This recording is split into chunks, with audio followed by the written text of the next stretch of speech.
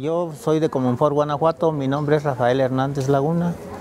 Este, produzco molcajetes, metates, figuras y nuevos diseños. El proceso de sacar la piedra, que somos mineros aparte de artesanos, somos mineros. Para sacar una piedra a veces tardamos pues un día para sacarla.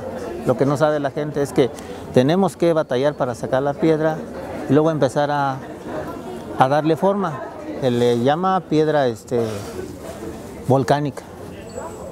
Eh, entonces es una propiedad que es única. El poro este es único. Si usted lo ve, todas las piezas tienen lo mismo. Lo que le llamamos el tejolote también lo tiene. Para producir la salsa sabrosa, que, que es este, este poro, esto que le llamamos nosotros sal mineral, es al frotar, la, al frotar el, el producto que es el jitomate y el chile, le da el sabor original, o sea, un sabor único. De donde extraemos la piedra tenemos minas y de ahí la extraemos la piedra este, a base de marro, barra y cuñas de acero. Este, principalmente la empezamos a limpiar para poderla elaborar. Le salen unas grietas que, que la pueden partir a la mitad.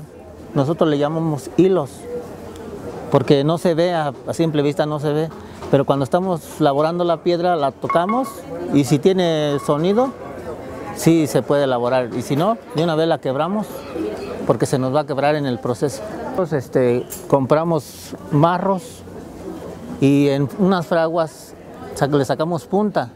Esto es a base de punta, no, no se puede con cincel, es muy dura la piedra.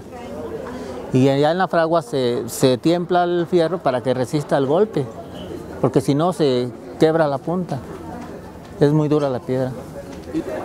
Pero pues yo calculo que esta pieza este, tiene aproximadamente un día y medio de trabajo.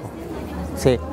Y por eso el precio se les hace, a muchos se les hace caro, pero 500 pesos, si supieran el trabajo que cuesta elaborar una pieza de estas. Artesanía es única, única por, porque uno siente, se siente, uno lo, que es el material, al, dar, al irle dando forma, uno este, se va uno pues, ¿cómo le diré? Se va uno inspirando en cada golpe que da uno, porque hay que darlo con, con mucho estilo, con mucho modo, con muchas ganas, con, pensando, piensa uno en su familia, en lo que uno va a ganar.